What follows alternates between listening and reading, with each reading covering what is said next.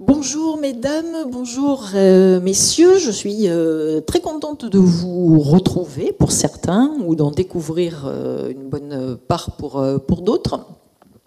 Le sujet dont je vais vous parler aujourd'hui est un sujet qui m'a amené à me replonger dans un travail que j'ai effectué il y a dix ans déjà, dans ma deuxième vie d'étudiante et deuxième vie professionnelle.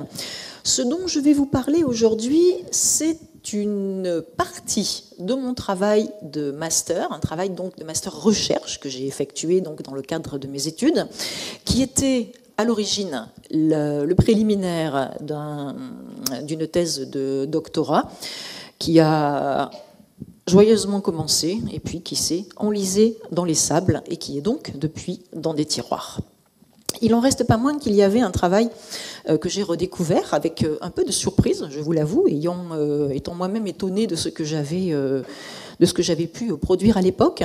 Et donc, je vous ai je vous propose aujourd'hui une version alors un peu expurgée par rapport à ce que j'avais présenté devant un jury universitaire à l'époque et non pas déliée, mais euh, à la portée, euh, je suppose, des non-spécialistes que vous êtes de la, de la céramique euh, attique. Je vais donc commencer par une petite introduction qui va vous planter le, décor et qui va donc surtout vous expliquer de quoi il s'agit.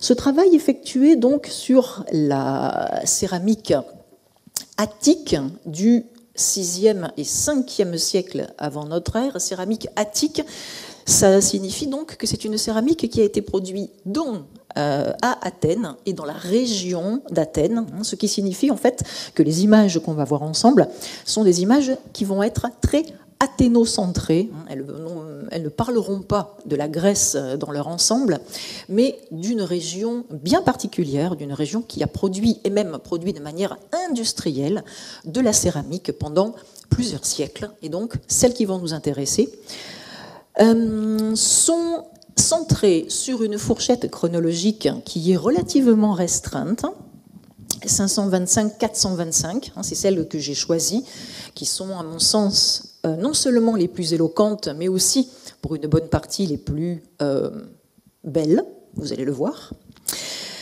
Euh, précisons aussi quelques éléments tout de suite sur la place des vases, hein, de ces objets en fait que j'appelle céramiques, qui sont des vases de toute nature. Alors, dans la Grèce antique, ces, ces vases produits de manière industrielle ont un statut un peu intermédiaire entre vaisselle de table, de la, des objets en fait usuels, quotidiens, qui servaient à euh, contenir de l'eau, du vin, le transporter, faire euh, du service de table, de banquet, euh, service aussi liturgique, puisque cette vaisselle sert aussi dans des contextes de cérémonie, des contextes funéraires. Et à côté de cette dimension quotidienne, il y a également un statut assez particulier pour la céramique qui la place dans l'un des tout premiers arts de cette époque. Alors, je mets vraiment des guillemets hein, au mot art, puisque en fait ce terme-là n'existe pas dans l'Antiquité. Art, artisanat, ce sont des choses qui sont, euh, qui sont euh, euh, tout un, disons. Et dans, ce statut-là, la céramique a occupé vraiment l'une des toutes premières places. c'est par exemple dans la céramique qu'on va commencer à trouver des recherches, des innovations esthétiques qui placent la céramique aux avant-postes de la recherche plastique, dans la composition, dans le mouvement, et qui la place même hein, avant, par exemple, la, sculpture. Par exemple, pour vous donner une idée aussi de cette, de cette valorisation de la céramique, le métier de céramiste était très, très euh, valorisé, très prisé à, Athènes. Aujourd'hui, et même depuis, euh, depuis euh, le début du 19e siècle, la hum, céramique est vraiment envisagée comme une sorte de d'écho lointain, assourdi mais néanmoins extrêmement éloquent de ce qu'a été la peinture, la grande peinture grecque, alors qui a existé, hein, une peinture de chevalet sur, euh, sur bois, mais qui a totalement sombré, totalement disparu avec les siècles. Du point de vue de l'évolution, cet art, donc, toujours avec des guillemets, est né au, 18, au 8e siècle avant notre ère. Je précise d'ailleurs hein, que toutes les dates de, cette conférence seront avant Jésus-Christ, donc je ne le redirai pas à chaque fois, hein, c'est toujours avant notre ère. Né donc au 8e siècle, avec un, décor d'abord géométrique, puis zoomorphe, elle laisse la place, vers 650, à ce qu'on appelle la figure noire. La figure noire, vous le voyez, ce sont en fait des euh, silhouettes incisées dont les muscles, les yeux, les, parties du corps sont incisées dans, la silhouette noire qui s'inscrit sur un fond rouge. 650 à peu près pour la, plus, la, grande période de, de cet artisanat.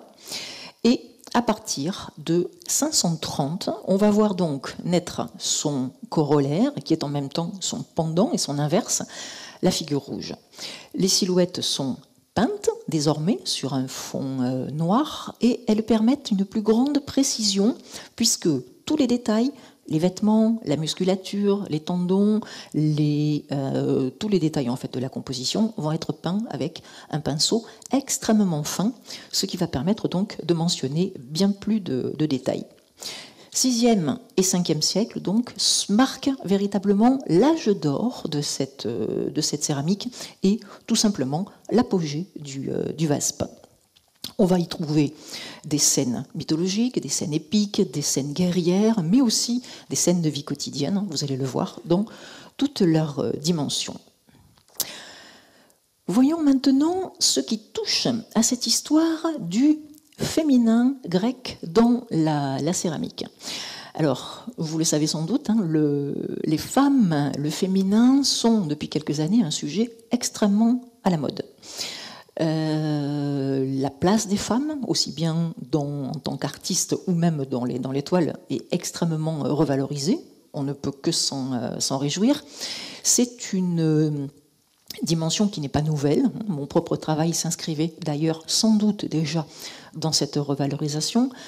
elle est née dans les années 90, outre-Atlantique, dans un mouvement alors à net connotation euh, féministe qu'on appelle les gender studies, c'est-à-dire un type de recherche anthropologique qui distingue très clairement d'un côté ce qui relève du, euh, ce qui relève de la, ce qui différencie pardon le, sexe et donc ce qui relève de la nature et le genre, ce qui touche à la culture d'un côté donc euh, bien différent.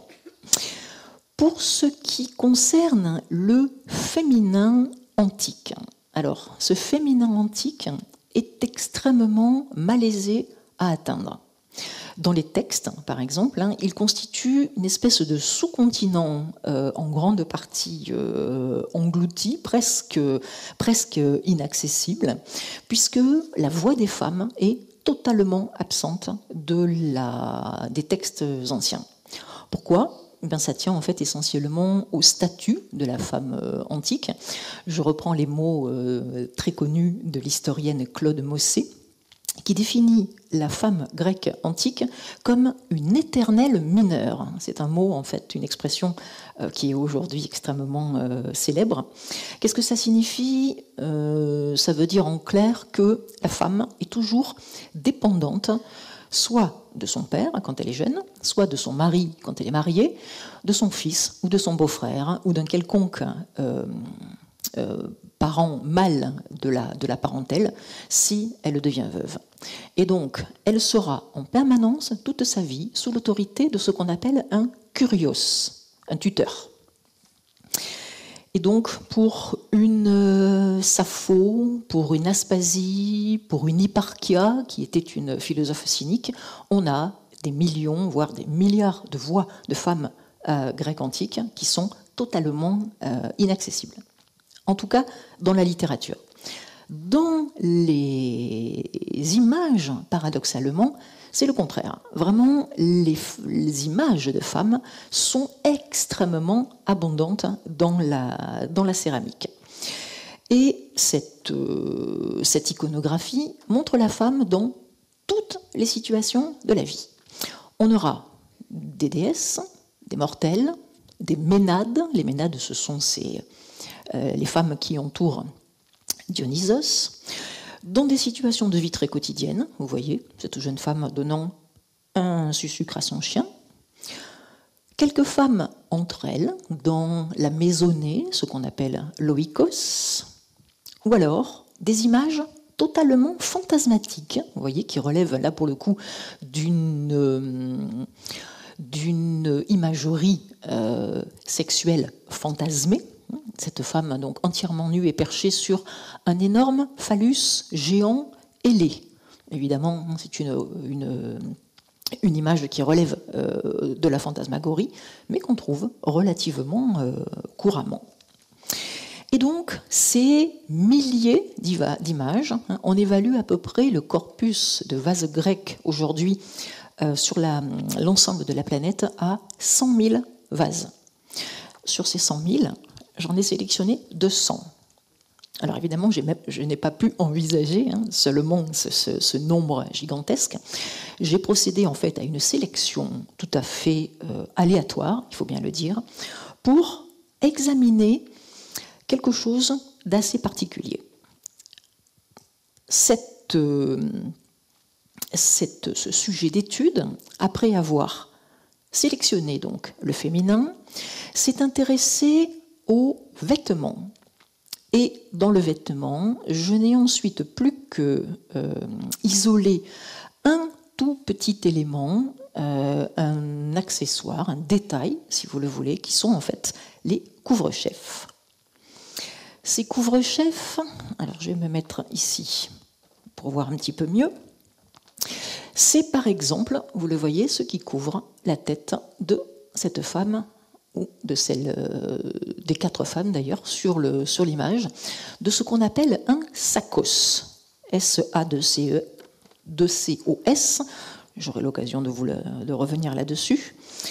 Euh, pour définir même hein, ce que c'était que ce sacos-là, il faut que je vous parle très rapidement de, euh, des difficultés quand on étudie le, vêtement. Alors, cette difficulté est de trois ordres.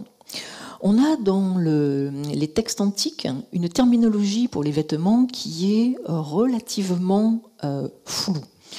Euh, des termes qui sont souvent imprécis, qui semblent souvent euh, interchangeables, et selon le contexte, une même pièce d'étoffe peut être une ceinture, un bandeau, un soutien-gorge ou un foulard. Vous voyez que, alors que nous, on a des, euh, euh, déterminations précises pour tous ces objets, la Grèce ancienne euh, fait peu de distinguo et elle dépend en fait totalement du contexte.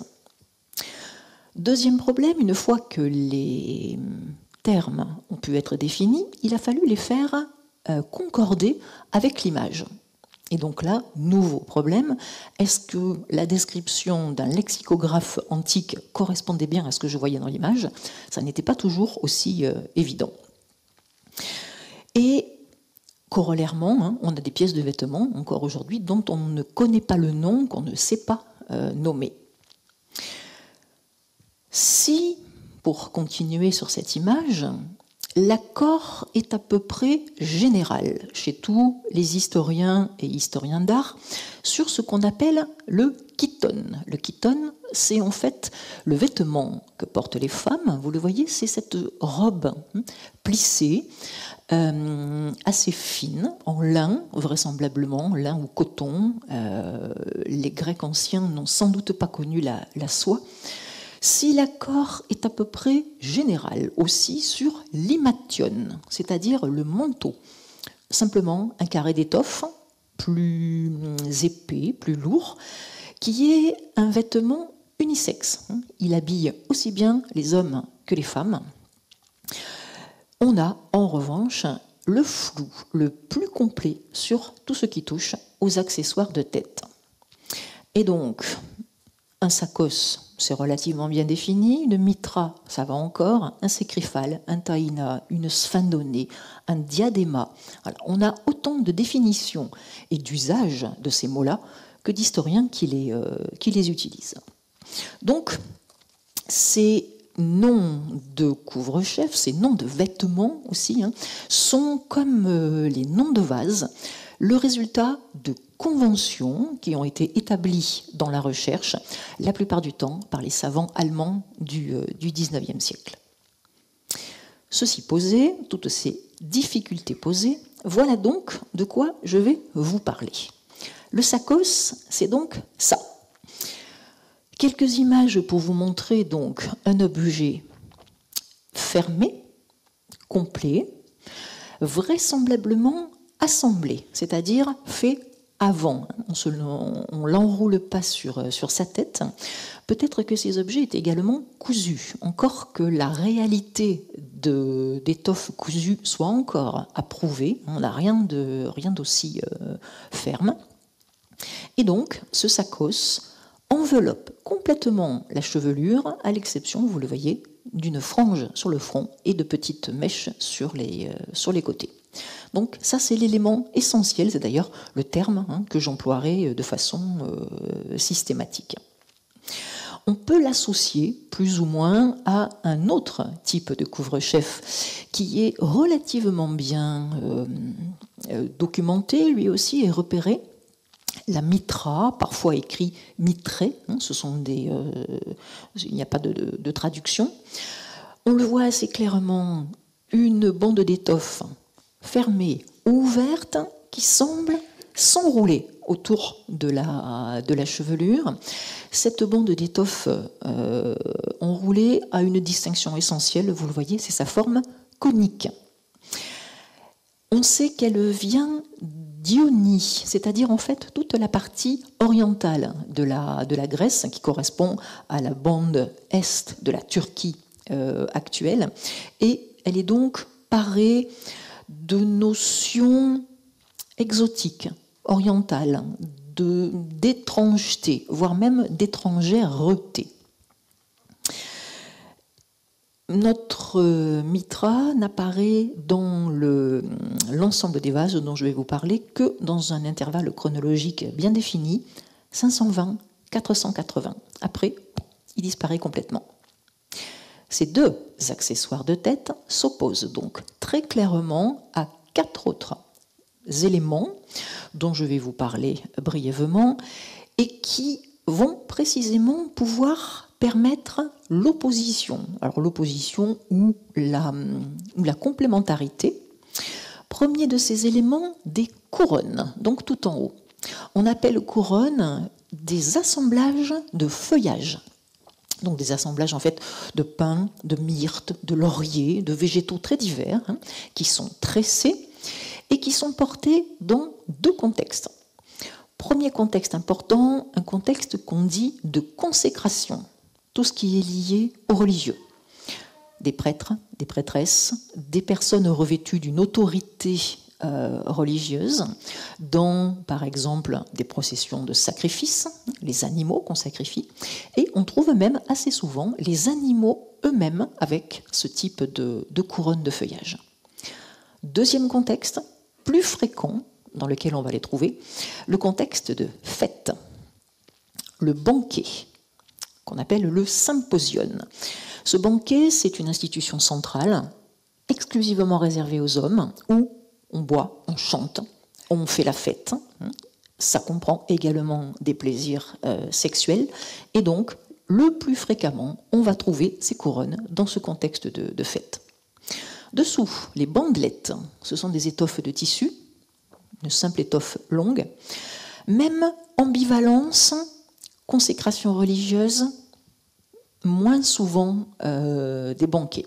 La bandelette renvoie très souvent hein, à celui qui va être sacrifié. Et donc là aussi, assez fréquemment, on en trouve sur les cornes des, euh, taureaux, des animaux qu'on mène au sacrifice.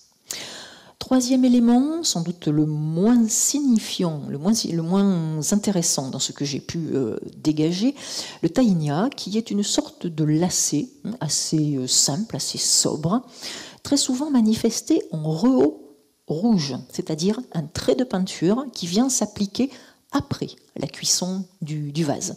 Et donc à ce titre qui est souvent très fragile, disparu, euh, tout ou partie. Il accompagne étrangement, assez souvent, les chevelures courtes, hirsutes. Euh, et donc peut-être une certaine catégorie de femmes. Enfin, un objet très bizarre, très curieux, euh, encore euh, sans dénomination, ou en tout cas qu'il l'était à l'époque où j'ai effectué ce travail, on a peut-être avancé depuis.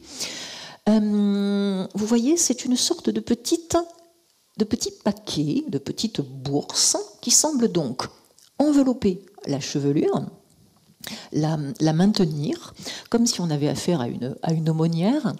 Cette bourse semble donc se fixer à quelque chose qui fait le tour de la tête, avoir des, une ficelle qui, euh, qui fait le tour du paquet lui-même et qui semble pouvoir à l'occasion coulisser sur la tresse de la, de la femme qui le porte.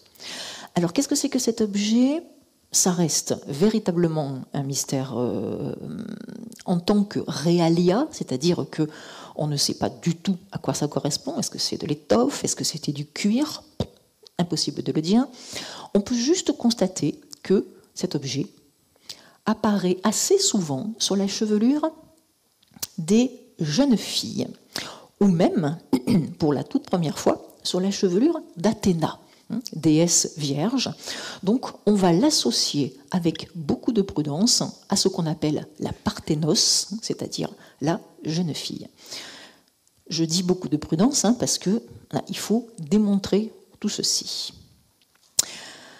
Alors, après, euh, euh, ces préliminaires, on va donc attaquer la lecture des euh, images elles-mêmes et en cinq chapitres, si j'ai le temps, euh, démontrer si la présence ou l'absence de ce sacos sur la tête des femmes euh, qu'on va examiner a un sens. Est-ce que la présence de ce couvre-chef dit quelque chose du statut de la femme? De sa place dans la société, de son âge, de ses liens aux autres personnes, et donc dans ce qu'on appelle la mise en série, c'est-à-dire une comparaison d'images similaires, on va se poser quelques questions et tâcher d'y répondre. Première idée importante qui s'est apparue, qui, s'est imposée pardon, assez rapidement hein, dans l'étude de, de, mes images, c'est que le fameux sacos ne couvrait que la tête des femmes.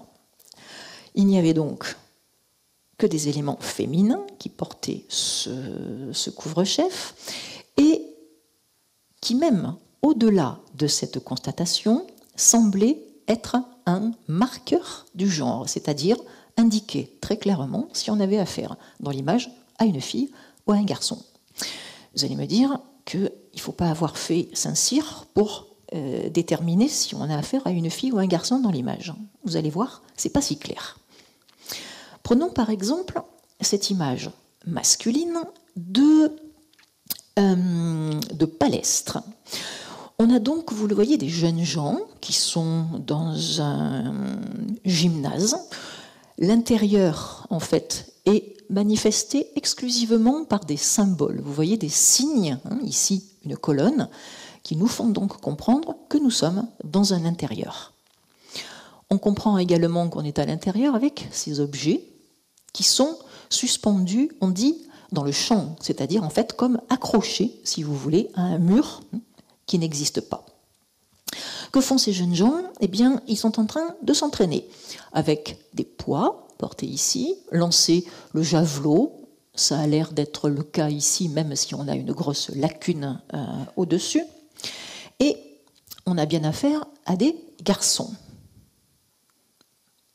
Le pénis, hein, bien, nous montre bien ici qu'on a affaire donc à des jeunes gens. Si vous regardez ce même garçon, notez ici des pectoraux hein, qui sont quand même relativement proéminents et qui pourraient presque faire penser, si on ne voyait pas le sexe, à euh, une fille. Prenons pour ma démonstration une série d'images. Alors, des images qui sont organisées en série à partir d'un même élément signifiant, d'un même élément symbolique. Dans ma série, cet élément, ce sera le luthérion, c'est-à-dire cet objet, hein, c'est une vasque, une fontaine, euh, vraisemblablement, qui permet aux imagiers grecs de représenter soit des jeunes gens à la palestre, à l'entraînement, soit des jeunes femmes. Ici, a-t-on affaire à une femme ou à un homme? Alors, elle est en train de peigner, il ou elle est en train de peigner ses longs cheveux, on aurait tendance à penser que c'est une femme. Là encore, attention à ce genre de signe, puisque dans l'Antiquité, la chevelure longue n'est pas nécessairement l'apanage des femmes. Cette euh, image, vous voyez, extraite en fait, un tout petit bout d'un beau vase que je vous montrerai tout à l'heure, nous montre un guerrier grec mort hein, au sol, avec, vous le voyez, sa chevelure qui est soigneusement étalée sol. C'est un homme, là, sans aucune ambiguïté, on voit sa barbe. Même jeu dans cette belle image, Éos soutenant le corps inanimé, le cadavre de même nom, l'imagier hein, représente avec soin la chevelure longue de même nom. Pourquoi une chevelure longue? Ici, c'est une valorisation du guerrier dans sa beauté corporelle, mais surtout en fait dans sa vertu, dans son courage dont il a fait preuve dans le combat. Même idée, hein, dans des guerriers cette fois-ci euh, vivants, en train de mener un assaut, et notez également celui qui se trouve juste à côté avec une chevelure ramenée cette fois-ci en chignon. Hein, ça s'appelle un crobilos. Et ce chignon est parfaitement euh, unisexe. Femme comme homme porte donc ce, ce crobilos euh, dans un, là aussi, hein, dans un intervalle chronologique qui le fait disparaître grosso modo dans les années 430. Plus de crobilos chez les, euh, chez les hommes. Première observation donc, le sacos définit la femme. Ça veut dire que quand on a ce type d'image-là, on retrouve donc le luthérion, il ressemble un petit peu à une table ici, mais on a bien affaire au même type d'objet. Homme ou femme Vous voyez qu'il n'y a rien qui nous permette là, de manière euh, absolue, de déterminer. Pas de sexe pour nous euh, mettre sur la voie. Cette espèce de, poitrine, quand même, qui semble être euh, présente. Dans le champ de l'image, là-haut, quelque chose qui est intéressant. Vous voyez, ça ressemble à, quelque, ça ressemble à un, objet euh, accroché. C'est une outre à vin. Alors imaginez en fait un animal hein, qu'on a euh, tué, qu'on a entièrement dépecé, dont on a gardé le corps, une chèvre la plupart du temps, et qui va donc servir à conserver du, du vin. Une outre au mur et un vase un gros vase à boire au sol. Si on a presque la même image à côté, avec un corps qui est strictement le même, vous voyez que en fait l'imagerie grecque, hein, que ce soit homme ou femme, reprend en quelque sorte les mêmes euh, éléments physiques pendant assez longtemps, jusqu'à euh, vers 450-440, la représentation du corps va être faite à partir de l'étude du corps masculin. Et donc, très souvent, hein, les corps féminins seront étonnamment musclés, étonnamment euh, peu gracieux même, jusqu'à l'indétermination complète. On a donc pour ce personnage une série de petits, euh, de euh, euh, comment dire, boudins, je ne sais pas trop comment dire autrement, où on hésite entre musculature et poitrine. Il y a sans doute les deux, mais il y a surtout, en fait, sur sa tête, ce qui lève toute ambiguïté et qui nous indique très clairement qu'on a affaire ici à une femme. Donc, un homme à gauche, une femme à droite. La seule distinction euh, genrée se fera donc par le port du sacos et aussi, pour être tout à fait honnête, avec la petite boucle d'oreille qu'elle arbore donc euh, de manière assez visible. Continuons notre série euh, du Luthérion avec deux figures. Une femme donc à droite, tête couverte par un sacos, qui est en train de porter un ballot de linge. En face d'elle, homme ou femme. Ici, la tête n'est pas couverte, mais on a dans le champ de l'image quelque chose qui nous met sur la voie. Cette espèce de petit cône suspendu, c'est précisément un sacos déplié. Et donc, celle de droite, là sur sa tête, celle de gauche, là, accrochée au mur, si je puis dire. Vous allez me dire, mais comment on sait que c'est un sacos déplié? C'est précisément la mise en série des images qui nous permet la détermination de cet objet.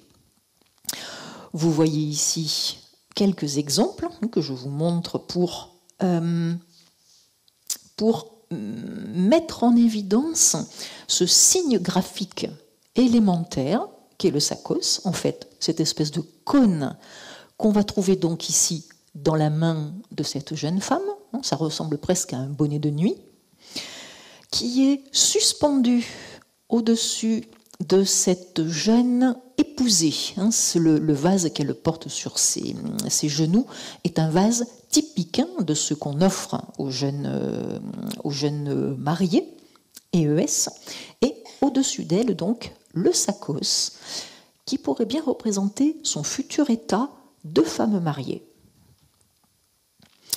Autre euh, image, alors de ces images euh, clairement euh, sexuelles, hein, invitant, on va dire, à la, à la débauche, ce sont très souvent des, des images qu'on trouve au fond des vases à boire, ce qu'on va trouver précisément dans le banquet. Une jeune femme vue de face, c'est peu fréquent, tête couverte, pubis bien visible, ses bottes sont suspendues dans le champ et un sacos, là encore, hein, se déploie de l'autre côté. Dernier exemple pour vous montrer que cet objet peut être peu significatif. Une femme assise, tenant un miroir, avec, là encore, un petit sacos déplié. À chaque fois, donc, ce sacos déplié indique des choses euh, différentes hein, selon le contexte, mais c'est indéniablement donc ce même objet d'étoffe qu'elles ont sur les cheveux ou qu'elles ont déposé à côté euh, d'elle. Du coup, dans une scène comme ça, qui va clore ma, série euh, du Luthérion. Alors là, on n'est plus vraiment à côté d'un Luthérion, on est dans une scène assez rare, hein. euh, une scène en fait de d'eau. J'oserais presque dire de piscine ou de, de, de, terme, hein, si le, terme n'était pas trop, n'allait pas un peu trop loin on est dans un intérieur. Hein. on a sur le côté des colonnes qui nous montrent donc qu'on est dans un, bâtiment. Trois femmes euh, sont en train, l'une de verser de l'huile sur euh, ses mains, celle du centre s'apprête à plonger, hein. elle a vraiment ce geste de celle qui va euh, s'envoyer à la flotte. Une troisième ici, qui disparaît presque complètement sous la lacune, a la tête couverte d'un sacos. Et on a cette figure-là, alors là pour le coup, homme ou femme. On en revient à notre même questionnement que tout à l'heure. Pas de sexe masculin pour nous indiquer précisément si on a affaire à un garçon ou à une fille. On a vu en fait que la taille des sexes, je ne sais pas si vous avez remarqué, mais cette petite dimension. Euh, l'idée en fait qu'un petit sexe chez les Grecs renvoie à quelque chose de mesuré, à ce qu'ils appellent la sophrosune. Je reviendrai sur cette idée-là, une idée d'harmonie, de juste milieu. Il est très fréquent qu'en fait le sexe soit minuscule, voire même n'apparaisse euh, qu'à peine. Pas de poitrine non plus, mais on a vu que ça pouvait parfaitement représenter une femme. Et donc, contre l'avis de certains historiens. Moi, je dis qu'il s'agit là d'une femme et que on a dans le champ suspendu là-haut le fameux sacos. Alors, ça change pas la face du monde, mais ça change la lecture de ce vase-là, hein, et donc on en tire des conclusions évidemment euh, différentes. Voyons toujours dans cette même idée euh, qui vise à dire que le sacos donc détermine la femme, hein, il fait la femme, comme l'habit fait le moine, le la, fait la femme, on va voir que euh, il la définit dans toutes les situations de la vie, des déesses, des mortels, des ménades, à la maison, à l'extérieur, à la fontaine, vraiment toutes les situations. De façon assez étonnante, il détermine aussi la femme habillée et la femme nue, mais aussi on va pouvoir prouver cette, euh, idée-là par le contraire, si je puis dire. Les Grecs sont assez fréquents de ce type de euh, raisonnement à l'inverse par le travestissement. Alors aujourd'hui, dans notre culture occidentale, on va dire que ce qui détermine essentiellement une femme dans son aspect extérieur, c'est la robe. Aucun homme ne se vêt d'une robe, à moins vraiment de vouloir se déguiser précisément. Euh, qu'en est-il dans la Grèce antique? Dans tout mon corpus, les sakoi, au pluriel, ne couvrent que la tête des femmes. On a une exception, une exception en fait qui est une série complète d'une 25 ou 30 vases qu'on appelle des vases anacréontiques. Alors c'est une dénomination tout à fait euh, arbitraire. Euh, Anacréon, c'est un poète, un poète lyrique de la fin du VIe siècle et du début du, euh, du 5e, qui a illustrer dans ses vers les, modes de, vie, le style de vie à, la, mode ionienne, hein, cet aspect donc oriental, qui a profondément influencé la vie athénienne à la fin du, euh, VIe siècle.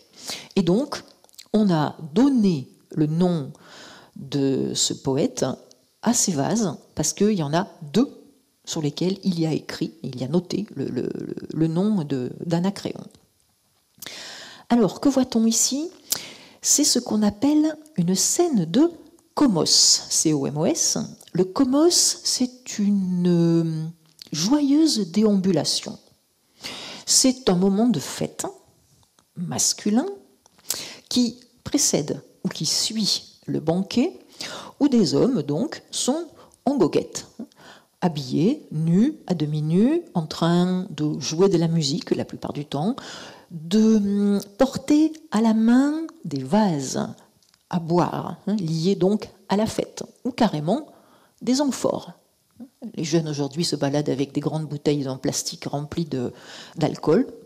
À Athènes, on se balade avec son amphore. Un homme, donc, à demi nu, hein, il est vêtu seulement de son imation, et à côté, une figure extraordinaire d'un homme également la barbe nous indique très clairement qu'on a affaire ici à l'homme mûr, c'est-à-dire en fait l'âge intermédiaire que la céramique grecque distingue. Il tient à la main un bâton, je reviendrai là-dessus, et un objet qui est un étui pour les flûtes, pour en fait les doubles euh, flûtes. Cette, euh, cette image très étonnante de cet homme habillé en femme, avec une robe longue, vous voyez, qui dépasse en bas, le manteau et surtout le sacos sur la tête, et donc l'une des seules exceptions où on va trouver un sacos sur la tête d'un euh, homme. Qu'est-ce que cette image veut dire? On est très clairement dans une image donc de fête, de déambulation, de, de dépassement, de... On est au-delà du raisonnable. Hein. On a bu, on est, euh, on est joyeux, on danse et on chante au son de la musique. Le vin indique les connexions avec le monde dionysiaque. Et ici, cette ambiguïté de, l'image, cette superposition des signes mâles, barbe et bâton, et des signes femelles, robe longue et sacos, indique une chose, c'est que cet homme, ces hommes, sont en train, en fait, dans l'expérience du, dans l'usage du vin, de faire l'expérience de l'altérité, de faire, de se transformer en fait momentanément en autre chose.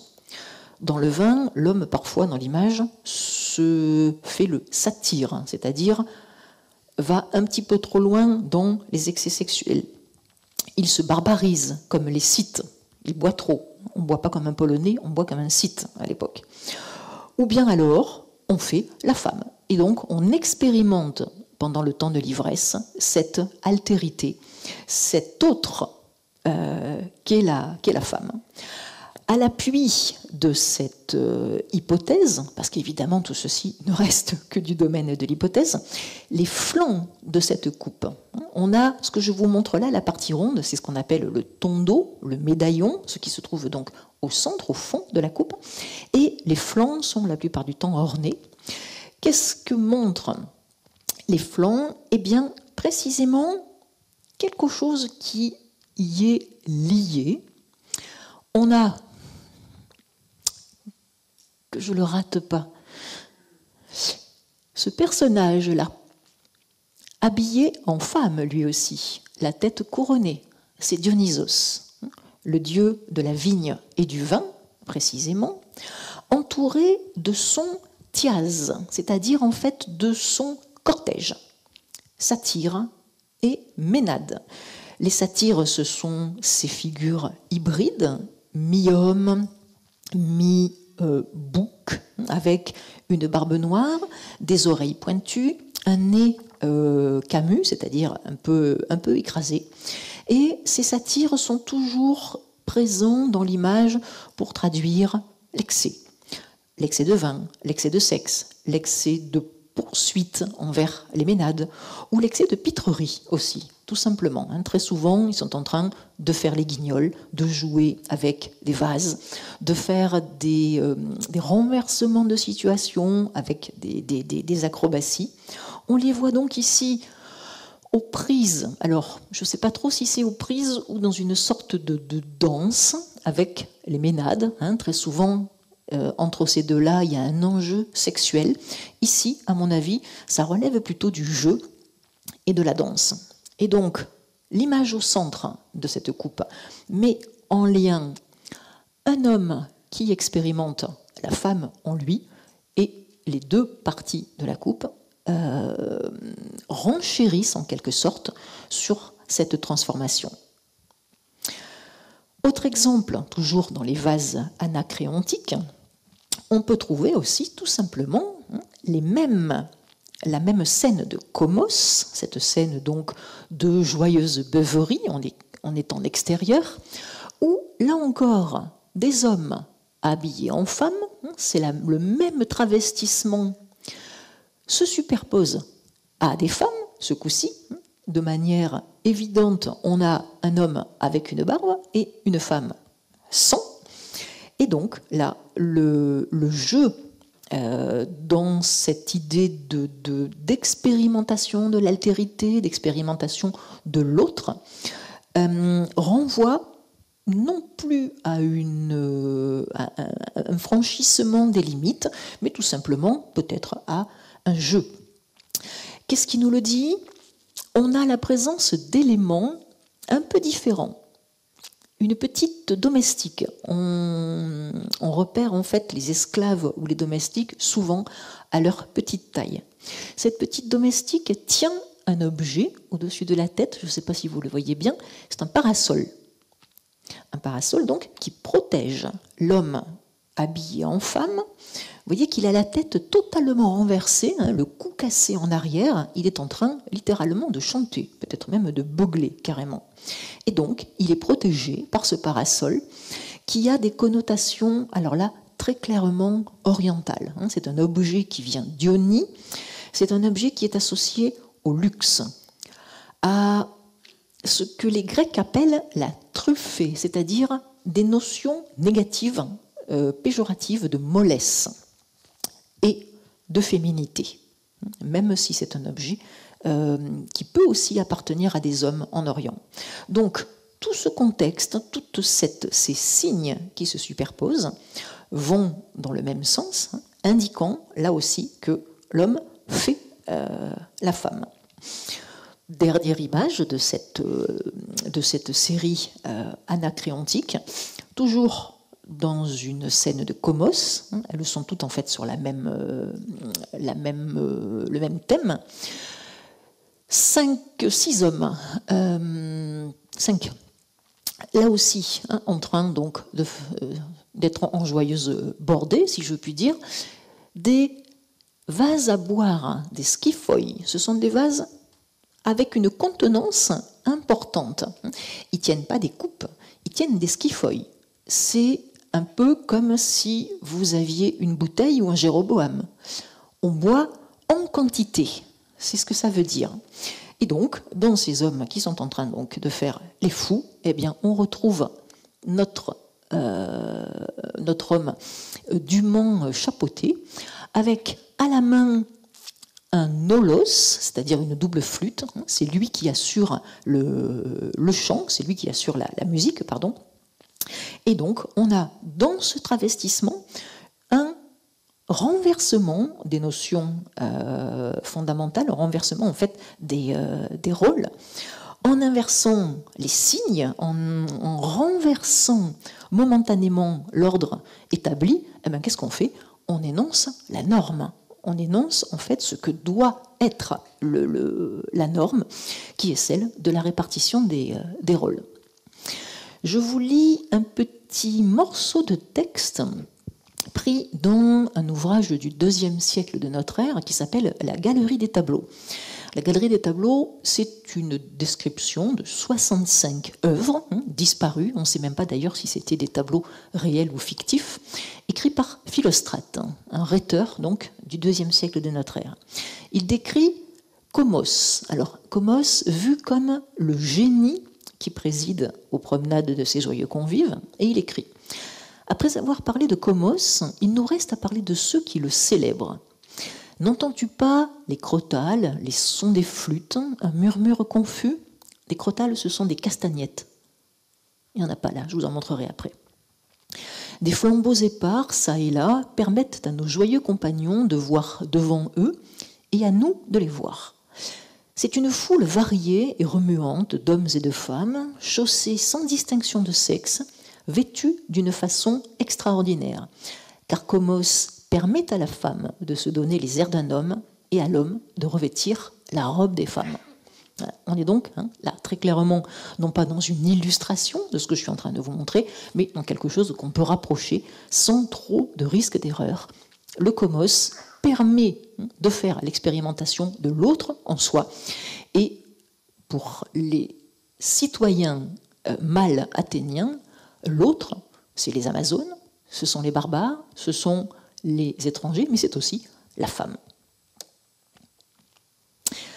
Voyons maintenant si présence ou absence du sacos peut nous, peuvent nous permettre de définir une, une femme idéale avec l'ébauche de ce qui serait un statut. Le statut social, civique de l'homme grec se définit très précisément dans l'iconographie. Ici, vous le voyez, cinq hommes de classes d'âge différentes. Un homme âgé, ici, il a une barbe blanche. Un homme mûr, il a une barbe noire, et des jeunes gens, pas de barbe du tout. Hein, l'image grecque, en fait, ne raffine pas. Il y a trois classes d'âge, l'homme âgé, l'homme mûr, le jeune homme. Ils sont tous les cinq habillés de façon euh, précise, en imation, donc le manteau drapé sur l'épaule gauche, hein, selon donc les codes euh, en vigueur à, Athènes. Ils ont des bâtons, à peu près tous. Ce bâton ici, hmm, j'y vois rien.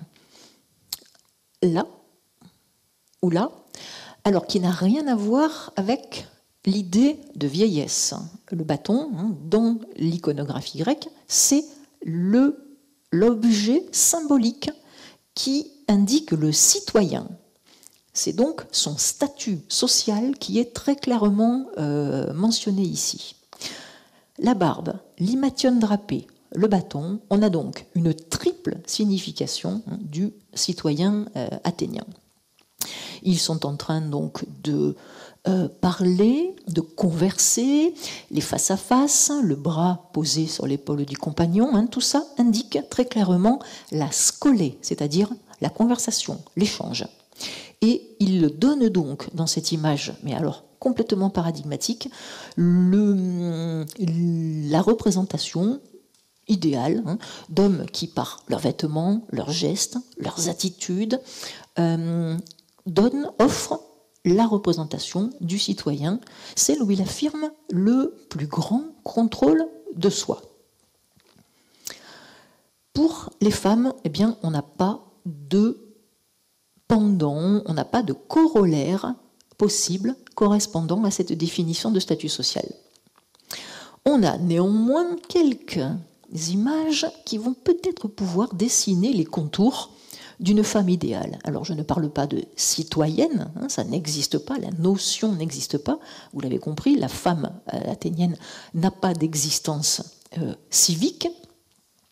En revanche, les vases, alors les vases qui ne sont pas des instantanés de la vie, hein, qui ne montrent pas en fait qui ne cherchent pas à montrer des représentations réelles, mais qui sont des constructions mentales, des constructions intellectuelles, nous montrent des choses intéressantes. Ici, une femme debout, entièrement vêtue, donc tonne, imation, sakos sur la tête, drapée sur l'épaule gauche. Elle est en train, vous le voyez, avec ses doigts poussés index repliés, d'amincir un fil de laine. Alors il existait, il était en peinture blanche, mais il a disparu. Lequel fil de laine passe donc ici et aboutit à ça. C'est une quenouille. Ça, c'est un objet je crois que tout le monde se représente assez bien. À l'appui de mon affirmation, et là pour le coup hein, tout le monde sera d'accord avec moi, on a cet objet-là qui est un calatos, c'est-à-dire un panier de laine. Cet objet est, l'idée plutôt des, euh, euh, travaux de, de laine, c'est un véritable marqueur idéologique. C'est-à-dire que tout ce qui est lié aux travaux de laine, tissage, filage, cardage, euh, c'est exclusivement l'apanage des femmes. Non seulement c'est l'apanage des femmes, mais ça traduit très souvent soit leur beauté, soit leur qualité. Quelle qualité? Eh bien, l'image le dit en toutes lettres. On a ici presque effacé, hein, un mot grec, philergos, qui euh, signifie littéralement amour du travail. Et donc on a notre philergia qui est montrée de façon emblématique. Cette femme est belle à regarder, vêtue euh, de manière, euh, on va dire, presque canonique, dont ce travail domestique qui, mieux plus que tous les autres travaux domestiques, souligne donc ses qualités et ses vertus. Même idée dans cette euh, autre femme, vêtue exactement de la même façon. qui euh, pas d'imation sur le, sur le dos cette fois-ci, un sacos. Saisie dans une pose bah, quasi dansante. Hein. On a vraiment l'impression qu'elle est en train d'esquisser de, un petit pas de, danse. Le calatos est posé au sol, hein. l'objet, donc le panier euh, à laine, et dans sa main, elle tient un miroir. Le miroir, c'est l'un des signes les plus fréquents, les plus éloquents, les plus récurrents pour dire la beauté. Elle tient un miroir, donc elle est belle. Cette idée de beauté vient donc se superposer à celui du panier de laine. Un autre vase relativement semblable nous présente donc une même femme drapée, habillée, chapeautée, avec le panier de laine assise et elle tient à la main un objet pour lequel on va dire l'indécision est un peu euh, qui nous laisse un peu indécis. Est-ce qu'on a affaire ici à un miroir ou est-ce qu'on a affaire à une quenouille? Alors, la, proximité graphique hein, des, deux, euh, des, deux, objets euh, est voulue, sans doute, hein, elle, est, délibérée. Et cette, cette, cette parenté graphique fait qu'en fait on passe, vous voyez, par une sorte de subtil glissement. L'analogie formelle entre le miroir et la quenouille nous confirme donc la proximité entre l'idée de toilette, de beauté, et le travail féminin. Ces femmes sont belles à voir parce qu'elles arborent à la fois donc le vêtement, euh, la panoplie complète de notre femme idéale, et puis les objets qui viennent souligner leur beauté. Dans euh, son texte, euh, dans la rhétorique, Aristote définit les conditions du bonheur. Pour la femme, il dit la chose suivante. Pour le sexe féminin, les qualités corporelles sont la beauté et la taille. Les qualités morales sont la tempérance, donc la fameuse sophrosune, hein, cette idée en fait d'équilibre, de juste milieu, de modestie. Et, je souligne, le goût du travail sans rien de servile, c'est-à-dire le goût du travail du tissage sans de notion de production, c'est-à-dire sans avoir euh, besoin hein, de travailler pour vivre. Donc cette idée de tissage, cette idée de travail, de laine est associée, même dans la littérature, à cette idée de, de qualité, on va dire, plutôt que de, que de beauté. Ce sacos, il est sur la tête des femmes, ou il est, comme on l'a vu tout à l'heure, hein, dans l'image, simplement évoquée comme une sorte de mention euh, graphique euh, présente, mais pas au premier, euh, au premier plan. Et donc, il vient toujours rappeler la vertu de cette figure féminine. Assise sur une chaise à dossier, avec un énorme calatos euh, devant elle, le miroir qui vient traduire sa beauté, et le petit sacos suspendu dans le champ. On peut parfaitement envisager le, le sacos comme dans l'image hein, qui se trouve sur le flanc de cette même coupe, hein, je rapproche toujours en fait le médaillon de la coupe et ce qu'il y a sur les côtés. Ces jeunes gens à la palestre, hein, avec lesquels j'ai commencé tout à l'heure, et leurs attributs. Leurs attributs, eh bien, ce sont ces objets qui sont suspendus dans le champ, là. Ce sont des paquetages d'athlètes. Il y a donc un. Comment ça s'appelle? Un aribal, c'est-à-dire une petite, euh, un petit euh, contenant qui peut être en cuir ou qui peut être en, terre cuite, qui contient en fait l'huile dont ces jeunes gens s'enduisent le corps. Il y a aussi, vous le voyez, une sorte de longue cuillère, là, hein, qui est euh, un strigile, un objet en bronze avec lequel ces jeunes gens se raclent ensuite le corps pour enlever le mélange d'huile et de sable après l'exercice.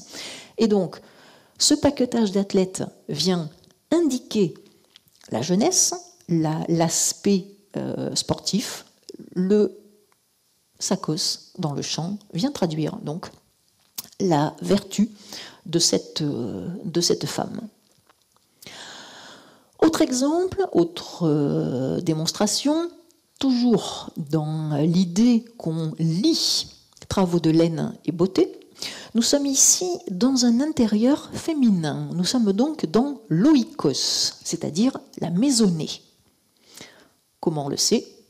Le colonne est un petit bout d'entablement et on a ici une porte. Cinq figures féminines qui sont qui portent ou qui sont associées à des objets exclusivement féminins un calatos, un miroir, un lécite, c'est un petit vase haut et, étroit, soit qui a une fonction funéraire, soit dans lequel on met des parfums. Un panier, alors qui a euh, plusieurs fonctions. Il n'y a que des femmes qui portent des paniers à la main. Et ici, une autre figure féminine qui tient une boîte.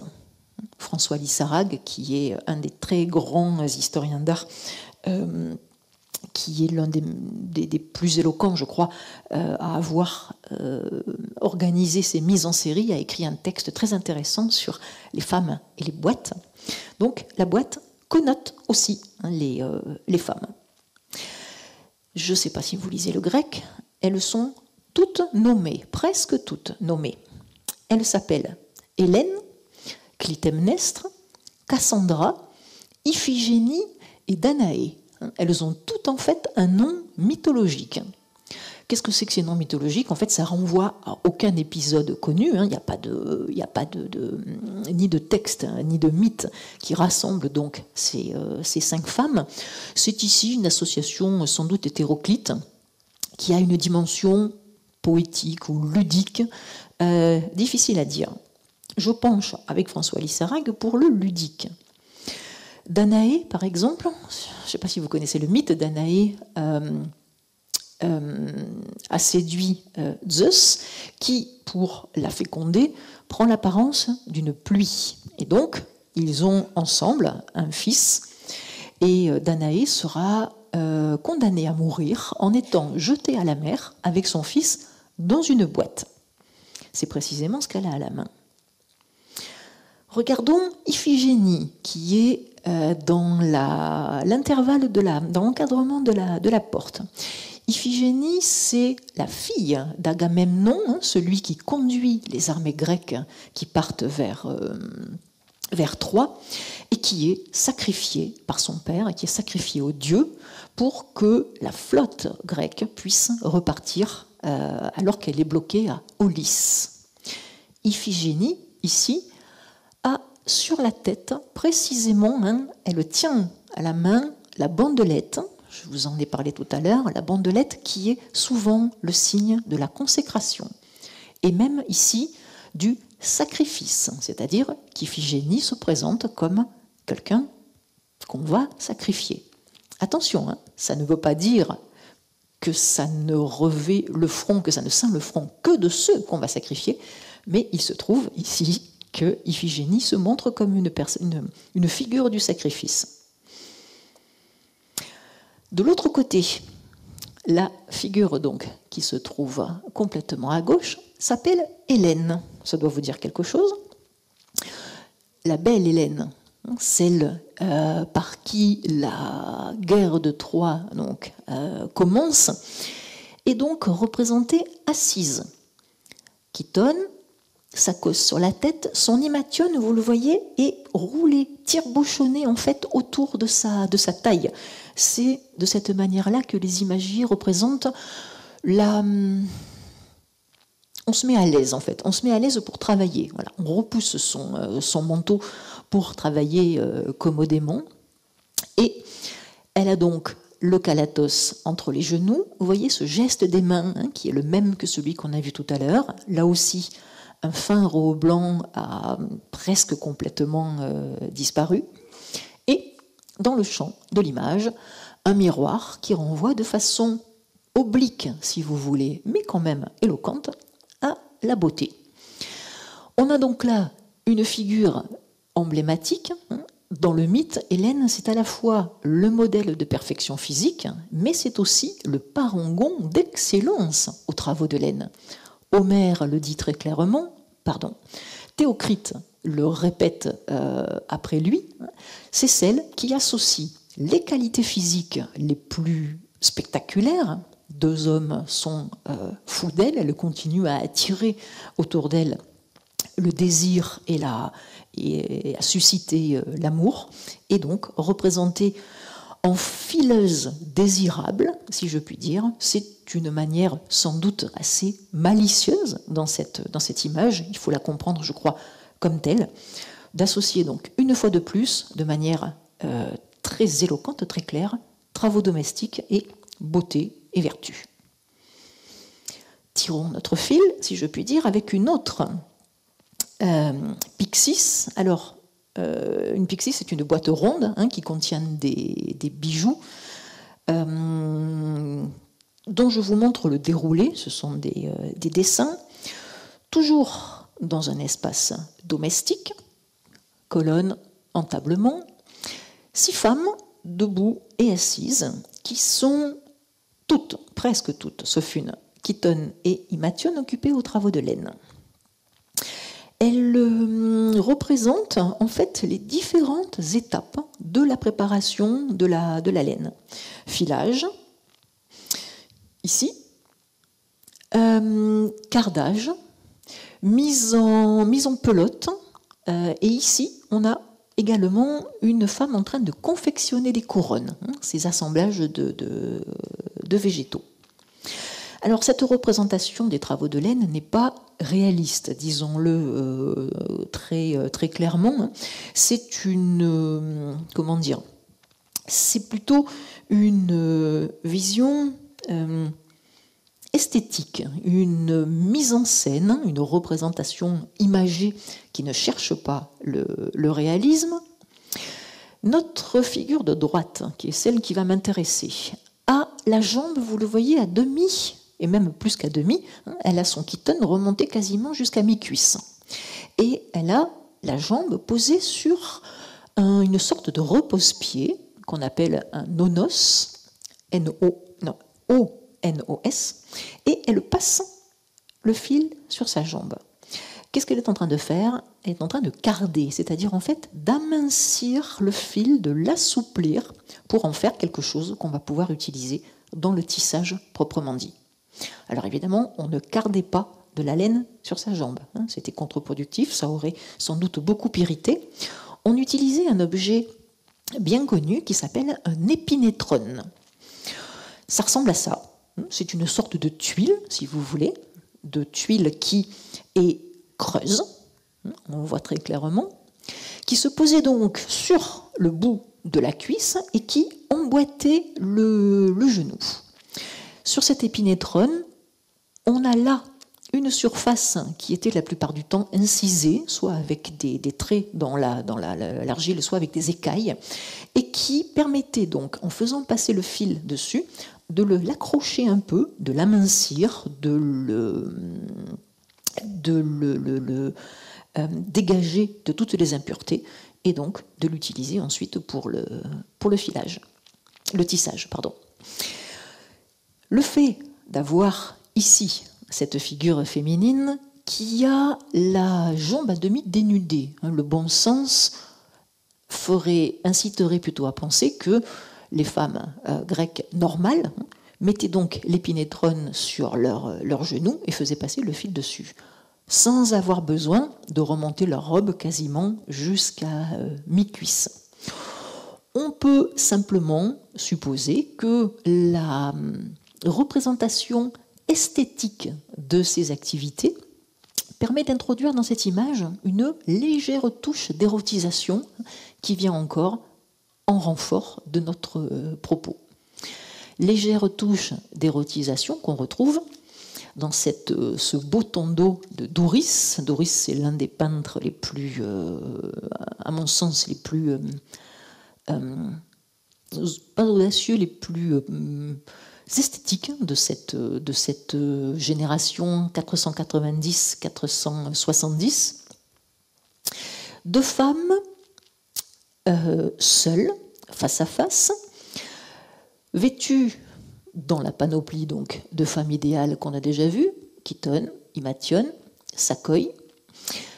L'une est assise. On retrouve cette même jambe nue qui est non seulement valorisée, mais je dirais même mise en valeur de façon emphatique. On a une belle jambe, un joli mollet nu qui barre l'image. Et Doris va même jusqu'à souligner le mollet gauche, avec le vêtement qui entoure son mollet gauche, alors de façon très élégante, mais de façon totalement improbable. Hein. Il fait en fait, il contourne le genou et entoure le mollet.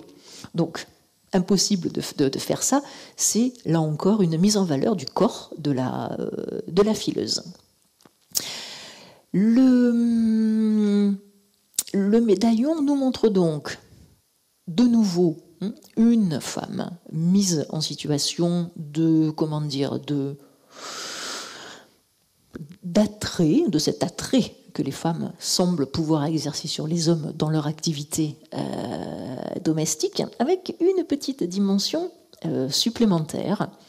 Hum, l'idée de modestie, l'idée de pudeur. Où est-ce qu'on va la trouver? Eh bien, dans sa voisine, qui, vous le voyez, tient en fait son kiton. Hein. Elle, elle est en train de soulever d'un petit geste euh, élégant une partie de son kiton. Alors ça, c'est un geste qu'on trouve très fréquemment, qui n'est pas toujours facile à caractériser.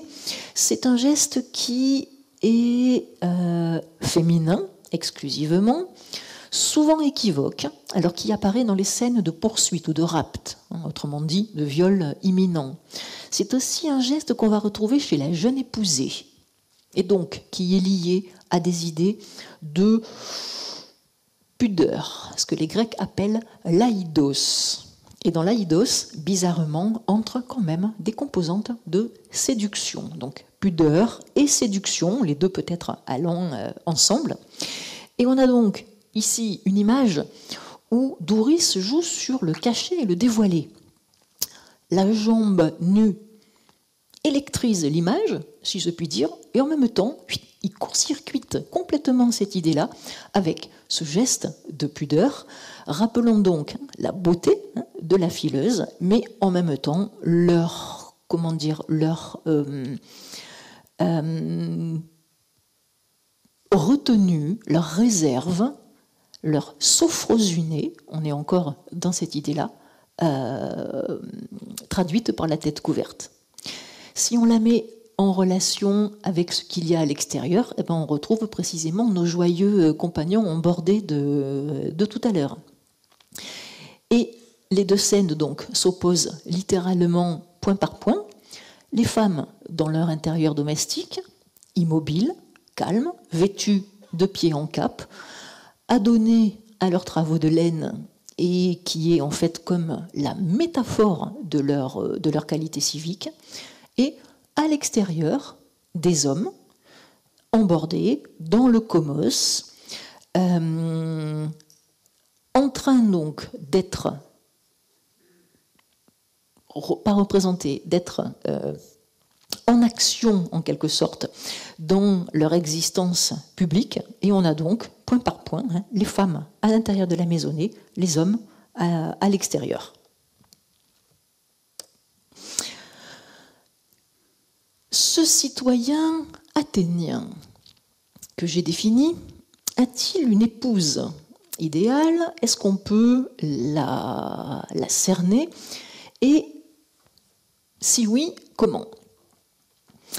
En fait, les peintres de vase ont euh, des moyens extrêmement limités pour euh, définir, pour déterminer des liens euh, familiaux. par exemple, les, reliefs funéraires ont des moyens extrêmement éloquents, les vases beaucoup moins.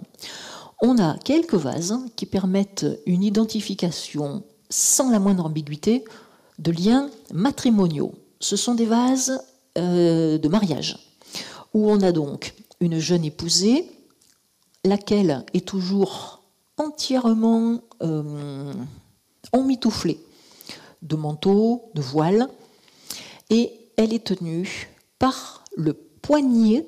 C'est vraiment un geste qui indique très clairement l'ingué, c'est-à-dire le moment où le mari prend possession de sa jeune femme et l'emmène donc de la maison paternelle, familiale en tout cas, on voit une porte ici, vers sa nouvelle maison. Donc c'est le vase, vous l'avez compris, dans un, dans un déroulé. Donc ça, c'est l'une des images où l'ambiguïté entre les liens ne fait aucun doute. Mari et femme. On a quelques rarissimes images, et là j'insiste vraiment sur cette idée-là, hein, elle se compte quasiment sur les doigts des deux mains, euh, où on a quelque chose qui évoque, qui suggère une famille, avec donc un père dans la force de l'âge, bâton de citoyen, sans doute une mère en face et un nourrisson qui se traîne au sol. Vous allez me dire qu'il a une drôle de tête. Les enfants, en général, euh, sont représentés comme des adultes euh, miniatures. Qu'est-ce qui me fait dire qu'on a affaire à une famille? Eh bien, on a là encore hein, le sacos qui pend dans le champ et qui nous indiquerait donc le statut de femme mariée. Ça, c'est une chose aussi que, sur laquelle je me suis penchée, mais que j'aborderai pas euh, ce soir. Qu'est-ce que nous dirait donc cette image-là? Cette euh, répartition classique des rôles dans la cité athénienne pourrait bien être ici quasiment emblématique. L'homme mûr, drapé, bâton de citoyen, représenté donc dans son triple statut de citoyen mâle athénien. Hein, je vous rappelle que ce sont des images produites à Athènes et qui donc ne parlent d'Athènes ou de la région euh, athénienne. Derrière lui, ici, un lit, une clinée. En face de lui, une femme. Vous reconnaissez maintenant hein, la panoplie euh, complète de cette, euh, égale, peut-être, du citoyen. Manteau, chitone, sakos, quenouille à la main et le calatos derrière. Certains euh, historiens interprètent cette image comme un homme face à une étaïre, c'est-à-dire une courtisane, une prostituée, si vous voulez. Et je pense, moi, à rebours de ces historiens, qu'on a ici une image absolument emblématique du couple dit communautaire, c'est-à-dire en fait du citoyen athénien et de son épouse, celle qui va, euh, qui est son épouse donc légitime, qui va lui donner des enfants légitimes qui perpétueront le nom du père. À l'appui, là encore, de cette démonstration, notre homme euh, athénien avec cette espèce de méduse ici, là, qui est là encore le pactage d'athlètes. L'homme donc représenté dans sa double fonction de citoyen à l'extérieur, mais aussi à la palestre, et la femme avec sa quenouille et son calatos, dans l'idée déjà vue de philergia, de femme exemplaire aux travaux de laine. Ce couple communautaire, alors je mets des guillemets là aussi, hein, parce que les Grecs n'utilisent pas du tout ce, mot-là, c'est une construction euh, d'historiographe euh, moderne. Ce couple communautaire, l'homme et son épouse légitime, s'oppose une fois de plus à ce qu'on trouve à l'extérieur de la couple, de la coupe, le couple anti-communautaire. Toujours des guillemets. Dans une scène qu'on qualifie de scène de séduction. Des hommes mûrs, barbus, sont en train d'offrir des choses à des jeunes gens. Alors, qu'est-ce qu'ils offrent? Dans ces scènes très courantes, hein, dites de séduction, on a des hommes qui offrent des couronnes, des bourses d'argent, c'est rare, la plupart du temps des cadeaux, coq, lapin, animal. Et ces scènes de séduction, ici, traduisent très clairement, en fait, le rapport entre les érastes et les éromènes, c'est-à-dire entre un homme mûr, qui entretient une relation sexuelle avec un jeune homme, et attention, ce jeune homme ne doit pas avoir hein, ses premiers poils, c'est-à-dire ne doit pas avoir atteint la puberté, dans une relation qui est à la fois donc une relation d'amitié, de sexualité, mais aussi de païdéia, c'est-à-dire de formation pédagogique. Hein, ça, c'est une, euh, une dimension de la, de la société grecque qui est parfaitement étudiée, qui a parfaitement été euh, documentée. Et donc, cette institution centrale de la communauté civique s'oppose ici, donc, le couple anticommunautaire. On arrête de fréquenter le jeune homme quand il devient euh, pubère, après ça devient euh, du vice. Et on a donc une image paradigmatique du couple communautaire, l'homme avec son épouse, et à l'extérieur, le couple anticommunautaire. On peut aussi qualifier de couple anticommunautaire celui que l'homme forme très momentanément avec des courtisanes, avec des étahirs. Autre exemple, toujours dans cette idée du citoyen face à son épouse, une série extrêmement intéressante de Départ du guerrier. L'homme ici est vêtu, vous le voyez, en guerrier. Casque sur la tête, bouclier derrière lui. Euh, autour des mollets, il a des knémides, c'est-à-dire des protections en bronze qui sont suffisamment malléables et euh, souples pour pouvoir être écartés et emboîtés autour du, euh, du mollet.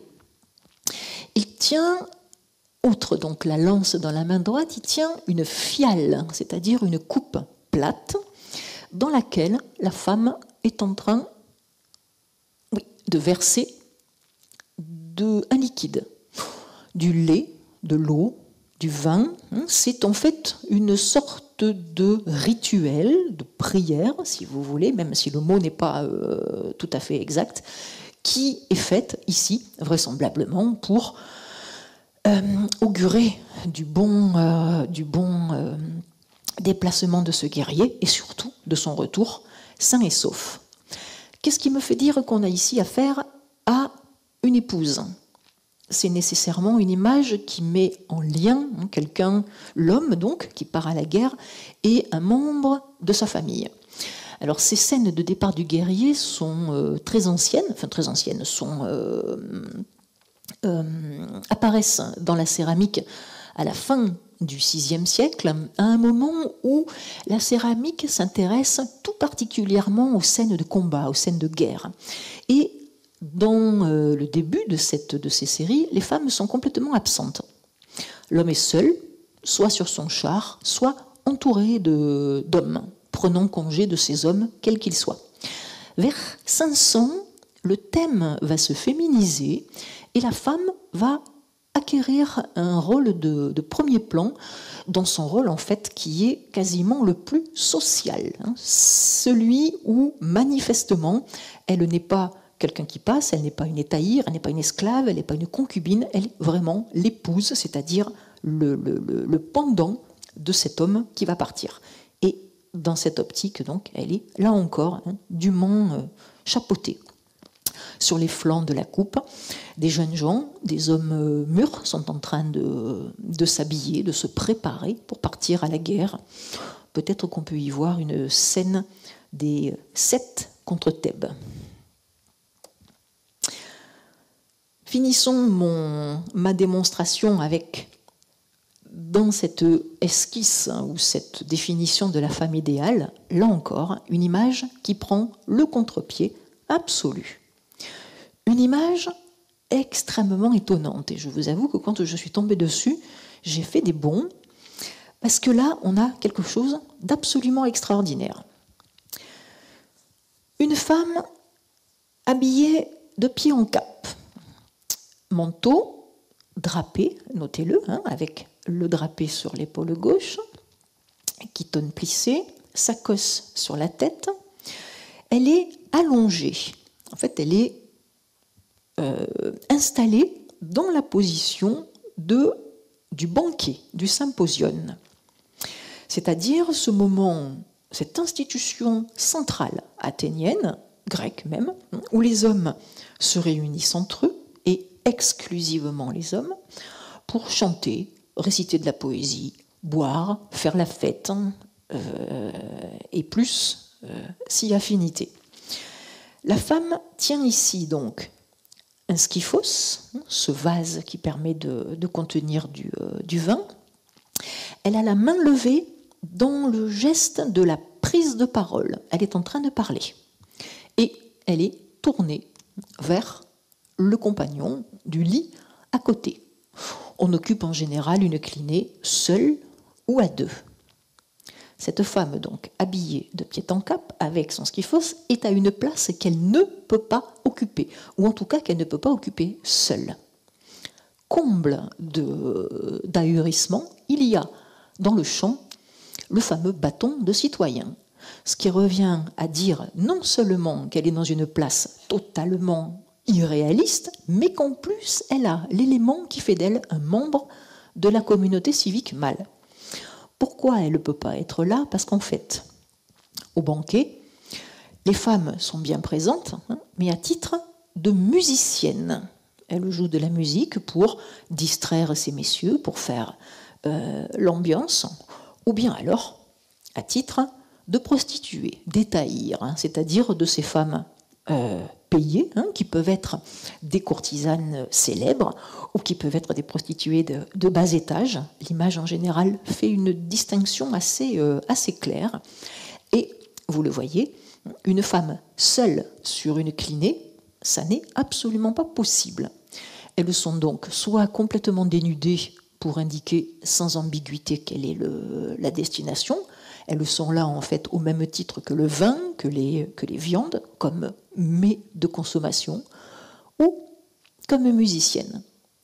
Ce qui revient à dire que cette image-là, totalement irréaliste, traduit là encore par inversion, par le complet renversement des euh, valeurs, l'idée de cette citoyenne qui n'existe pas, de cette, euh, vision euh, peut-être cauchemardesque pour certains euh, mâles athéniens, qui nous indique donc ce que serait une pseudo-citoyenne. Je termine avec une petite série pour vous indiquer clairement quelles sont les situations où les femmes ne portent pas de, de sacos. Et donc, ce sacos serait-il aussi un marqueur de la sophrosunée, c'est-à-dire de cet état où la femme est précisément dans ce juste milieu, dans cette retenue, dans cette modestie qui est si prisée euh, dans la, la pensée grecque. On a donc quelques images qui vont, quelques situations, pardon, qui vont nous montrer systématiquement des femmes détenues. La première de ces situations, une situation sociale courante qui n'est pas exceptionnelle, c'est le deuil. Euh, on a un certain nombre d'images, notamment sur des lécites. Les lécites, ce sont des vases. Ah, j'ai pas mis la, la légende. Des lécites, ce sont des vases euh, funéraires où on voit donc sur un lit, et là pour le coup, hein, ce n'est pas un lit de banquet, c'est bien un lit funéraire avec un mort ici, un jeune homme, vraisemblablement donc, euh, décédé, avec euh, l'étoffe qui, le, recouvre jusqu'au cou. Autour de lui, des femmes qui ont, vous le voyez, les cheveux lâchés, on voit bien les euh, mèches qui tombent. Et ce geste sur le front, sur la tête, c'est le geste très classique hein, de la déploration, du deuil, de la, hum, des pleurs. Hein. Ces femmes sont ici d'ailleurs vraisemblablement des pleureuses. On embauchait des pleureuses professionnelles pour venir donc faire ce rite de la, euh, lamentation du, euh, du deuil pleureuse ou femme de la famille. Hein. Impossible d'aller euh, beaucoup plus loin. Même exemple avec cette, euh, scène où c'est ici une défunte, hein, une jeune femme, dont la tête est ceinte d'une stéphanée. Alors là, pour le coup, c'est ce que nous appelons une couronne, c'est-à-dire un objet, euh, un bijou fait de métal et non plus d'étoffe. À son, au chevet du lit, une figure extrêmement intéressante. Tête nue, chevelure, vous le voyez, euh, assez euh, négligée, assez hirsute. Notez la coupe, hein, qui n'est pas très élégante, et notez aussi sur la joue, non pas des éléments où, l'image est abîmée, mais ce sont des scarifications, en fait des tatouages plutôt, pour être plus, euh, clair. Ici, on a une représentation de nourrice ou de domestique, peut-être les deux, euh, Thrace, c'est-à-dire en fait qui venait de la région euh, du nord de la, de la Grèce. Et les femmes Thraces sont reconnaissables précisément dans l'image à leur 1. absence de sakos, 2. à leur tatouage très visible hein, sur, le, visage ou sur le corps. On retrouve donc ici la pleureuse ou la sœur, la mère, on ne peut pas euh, être beaucoup plus clair que ça, donc cheveux lâchés, sacos euh, disparu, qui littéralement hein, s'arrache les, cheveux. Ces situations de deuil, on va aussi les trouver dans un type de scène, alors qui est, elle, très bien repérée, c'est le suicide d'Ajax. Ajax, qui est un, héros de l'Iliade, hein, qu'on va retrouver dans l'Odyssée. Ajax, c'est Ajax le Grand, euh, particulièrement euh, célébré par, pour sa bravoure, pour sa vertu au, combat. C'est lui qui ramène le corps d'Achille après qu'il ait été euh, tué. Et après que le corps ait été ramené, les Grecs vont déterminer à qui reviennent les armes d'Achille. Et donc sont en compétition Ajax et Ulysse. On va demander aux prisonniers troyens lequel de ces deux hommes a causé le plus de ravages. Les prisonniers troyens désignent Ulysse. En fait, c'est Ulysse qui a tué le plus de Troyens. Et donc les armes d'Achille vont aller à Ulysse. Ajax, fou de rage, la raison momentanément brouillée par Athéna, va faire, pour se venger, un carnage dans le camp grec de moutons en pensant tuer en fait des, euh, Grecs. Et une fois revenu à la raison, de honte et de désespoir, il se suicide. Il est donc en train, ici, vous voyez, de préparer son suicide avec une épée plantée dans le sol. Ses armes ont été déposées à côté, donc ça c'est une image assez repérable, qui parfois est redoublée de celle-là. Ajax, donc, mort désormais. Hein, vous voyez le, le, poignard qui transperce sa poitrine. Notez au passage la chevelure longue d'Ajax. Et cette femme, alors qui n'appartient pas au mythe, hein, ni euh, Homère n'en parle à aucun moment, euh, ni dans l'Iliade, ni dans l'Odyssée, il est question d'une femme qui vient rendre les derniers, euh, les derniers soins au corps d'Ajax. Mais ici, donc, cette femme anonyme est bien représentée, vous le voyez, chevelure lâchée et sacosse non apparent. Le deuil, donc. Autre représentation très importante aussi, très, euh, frappante, euh, les moments de détresse et de grande vulnérabilité. Un vase absolument extraordinaire, de qualité, de taille, euh, c'est ce vase qui représente l'Iliopersis, c'est-à-dire en fait le moment où les Grecs sont entrés dans, euh, dans Troie et massacrent, pillent, violent, euh, se livrent à tous les excès en fait des, euh, guerriers euh, vainqueurs. On a donc ici vraisemblablement Achille en train de massacrer le vieux Priam et le petit-fils de Priam, le fils d'Hector, Néoptolème.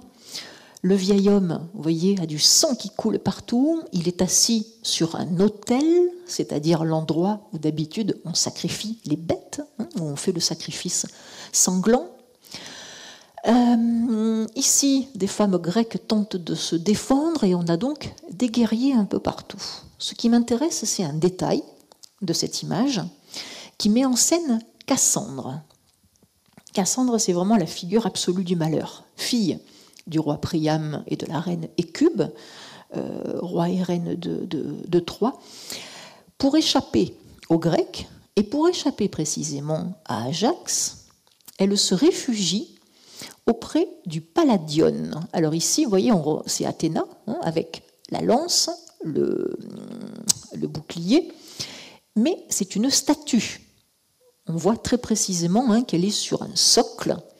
Et donc, ce Palladion, c'est la représentation euh, imagée de la déesse. Et elle enserre le Palladion de sa main et demande pitié de l'autre. Cette main tendue vers son adversaire, c'est la demande de grâce. C'est un peu, si vous voulez, comme un, chrétien qui se réfugie auprès de l'autel pour euh, être euh, épargné. Ajax entoure la tête de Cassandra d'un geste étonnamment tendre. Elle est intégralement nue, représentée de face. Je crois que je l'ai dit tout à l'heure, hein, la représentation de face dans l'image, c'est très très rare. Ça a vraiment un sens particulier où on souligne ce que l'image veut dire. C'est pas un sens univoque. Ici, ça met bien en évidence en fait ce qui va arriver à Cassandre, c'est-à-dire en fait le viol imminent. Vous voyez le triangle pubien bien visible et la tête bien sûr intégralement nue. Derrière elle, de l'autre côté du Palladion, des Troyennes, pleureuses ou simplement euh, simples, femmes, sont donc en train de se lamenter, elles aussi, tête nue, en se tirant les, euh, les cheveux. Cette scène de Cassandre auprès du Palladion a été reprise un certain nombre de fois, hein, presque parfois en, copie ou en comment je pourrais dire des scènes en fait qui se ressemblent euh, beaucoup.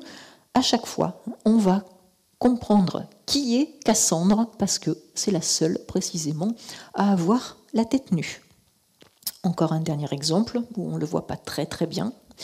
Cassandre est encore intégralement nue, Ajax l'attrape par le bras et elle a également ici la tête nue.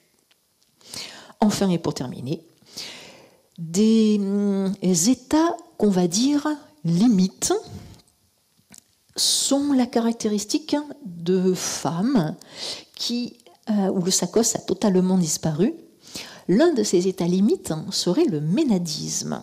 Alors, les ménades, on l'a vu tout à l'heure, hein, ce sont ces desservantes du culte de, Dionysos. Elles peuvent être des prêtresses, mais elles sont souvent, dans l'image, des femmes qui sont donc dans le cortège de, Dionysos, avec ou sans euh, satyre, avec ou sans Dionysos lui-même. Ici, on a affaire encore hein, à une statue, un terme en fait, une représentation euh, euh, symbolique de Dionysos. La musicienne a la tête couverte, elle joue de la double flûte, de l'olos, et tout autour, les ménades sont prises dans la transe, c'est-à-dire en fait ce moment où musique, chant, danse, ferveur, excitation fait que cet état de, de, transe se comprend ici très clairement dans le côté tourbillonnant des figures féminines. Regardez le, joli mouvement élégant hein, du kiton qui virevolte autour des, euh, des, tailles, des cuisses. Notez la chevelure, là pour le coup, alors qui, qui vole euh, en tous sens. On a véritablement affaire à un moment où les femmes passent, enfin les femmes, oui, ces ménades passent dans un état euh, presque second, hein, et où évidemment le sacos disparaît complètement plus encore euh, à limite et même, et même euh, état meurtrier avec un épisode lié aux, Ménades. Là, on a affaire même aux bacchantes, c'est-à-dire à celles qui desservent le culte de Bacchus, futur euh, Bacchus, c'est toujours Dionysos. On a trois femmes, vous le voyez, qui sont en train de maintenir un pauvre euh, jeune homme à terre, de le tuer avec une épée ou de s'apprêter à l'écrabouiller avec un énorme rocher. Ce personnage, c'est Penthée, roi de Thèbes, euh, dont la ville se refusait au culte de Dionysos. Dionysos vient de l'Orient, il n'a pas toujours, son culte a été, euh, s'est implanté de manière très graduelle et avec parfois des difficultés. Et donc le théâtre a euh, illustré cette, cette, cette idée-là. C'est Euripide, dans les Bacchantes, donc, qui en 405 écrit cette, cette tragédie. Les femmes de Thèbes sont saisis d'un égarement euh, incompréhensible. Dionysos a brouillé leur raison et toutes les femmes ont quitté la cité de Thèbes et se sont réfugiées dans la montagne. Sont parties en fait faire les ménades. Panthée, le roi de Thèbes, qui imagine en fait des débordements, des dérèglements, des plaisirs interdits, veut aller observer euh, ces femmes. Et c'est très intéressant, dans les Bacchantes, justement, il se travestit. C'est Dionysos lui-même qui l'habille et Euripine nous indique très précisément comment il transforme Panthée en femme. Il l'habille d'abord d'une robe longue, de chaussures, et la transformation se fait au moment où il met sur sa tête un chapeau, une mitra. Et là, non seulement la transformation, l'apparence de Panthée change, mais c'est même sa nature qui change, sa fusis. Il devient femme. Et dans le texte, c'est assez étonnant, il commence à se préoccuper en fait de ces boucles qui sortent de sous la, mitra. Est-ce que c'est -ce bien arrangé? Est-ce que je suis bien comme ça? Ah, la boucle a bougé. Est-ce que tu peux me la remettre un petit peu? Tout d'un coup, le roi, le guerrier, l'homme, devient une femme qui se préoccupe de son apparence. Signe en fait que le sakos, la mitra, le couvre-chef transforme non seulement l'apparence, mais même la fusis, la nature même de l'homme. Il arrive donc dans, les forêts où il tombe sur un cortège de, de ménades, il tombe même sur sa mère, Agavée, et les femmes le repèrent, et comme c'est un homme, eh bien, elle le tue, elle le démembre, elle le dépaisse, et c'est une scène donc assez épouvantable où le pauvre Pinté finit littéralement euh, étripé. Vous voyez qu'ici, une fois de plus, hein, cet état limite s'accompagne bien sûr de l'absence de Sakos. Je finirai avec celle-ci qui nous montre le meurtre de Cassandre par Clytemnestre. Cassandre donc, hein, violée à, à Troie par Ajax, qui devient la concubine, la captive en tout cas d'Agamemnon, qui revient avec le roi grec donc dans les, euh, vaisseaux des, des, Grecs et qui arrive à Mycène. Là, à Mycène, elle va faire l'objet non seulement de la jalousie de Clytemnestre, épouse en titre d'Agamemnon, mais surtout subir la vengeance que Clytemnestre réserve à son mari. Il a fait tuer Iphigénie, leur fille, pour euh, faire repartir la, flotte. On voit donc ici Clytemnestre, dont le visage est littéralement euh, absent, en train de brandir une hache qu'elle va abattre sur la malheureuse Cassandre, geste de la main pour demander pitié. Ni la victime, ni le bourreau n'ont la tête couverte. On retrouvera cette même idée, toujours, hein, dans la suite tragique de cette euh, histoire, euh, mince, comment il s'appelle? Euh, Oreste, merci. Oreste exécute Égiste, hein, l'amant, avec ici Clytemnestre qui se trouve à l'arrière, et vous le voyez, les pleureuses, les ou celles qui vont être sacrifiées euh, à leur tour, là encore, hein, sans sacos et la chevelure très largement euh, libre. Voilà, Il aurait pu aussi y avoir un SACOS indiquant des classes d'âge, le SACOS marqueur de de l'opposition entre l'intérieur et l'extérieur, le SACOS indiquant un statut, enfin au rebours plutôt, n'indiquant pas le statut servile. Voilà. On avait tout un tas d'autres de, d'autres pistes hein, que je vous réserverai pour une prochaine fois. Merci beaucoup.